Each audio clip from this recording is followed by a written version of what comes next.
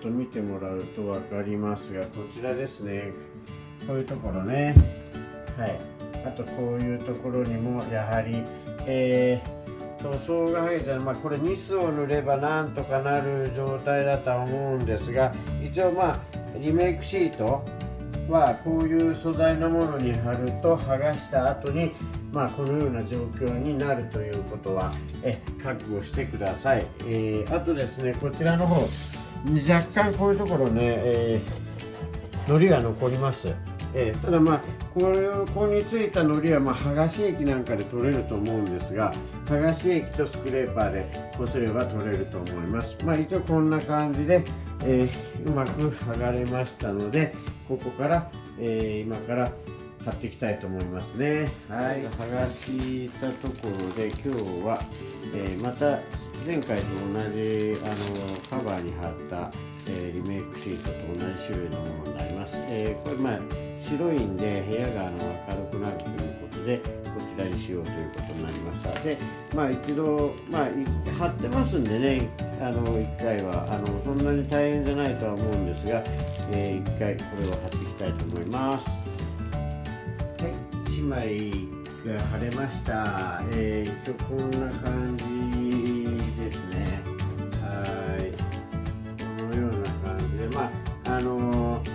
際これはですねあのー、1人じゃ無理です。えこういう感じで貼ってますけども空気も極力これかなり少なくなってますがこれも実際1人で貼るのは無理です。えー、あのー、2人がかりで貼ってますので、えー、1人が持ちながらこれはね上手にやっぱり貼れません、えー、でまあこんな感じで1枚で2枚3枚4枚で1枚の動画が切ると思いますよね。はいじゃあ次の貼りますはい、えー、2枚目下の方が貼れました、えー、こんな感じですね。はい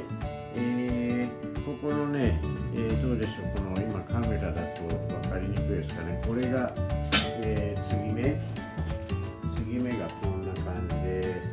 す。はいまあ目の高さじゃないんでそんなに目につかないと思うんですが、え、どうしてもねこの、え、シートの長さの形状でいうとあの辺に、えー、45の90なんであの辺にどうしてもつあの継ぎ目は来ちゃいます。えまああのー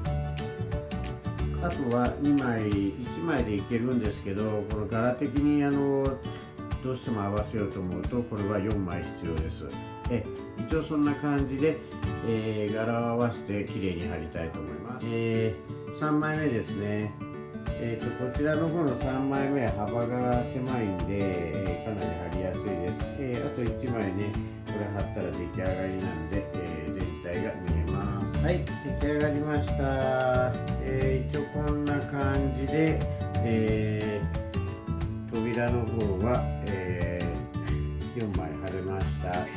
え多少は明るくなったと思います。じゃあ次はこちらのですね今度のあのカーバーの下ですね。下のあの難度のところの扉を、えレンガ柄を真っ白くにしたいと思います。はい皆さん終わりました。どうでしょう？綺麗になったでしょうか？えー、一応こんな感じで下のあの今度のカバーの下のところの色も、えー、同じ色になって扉と、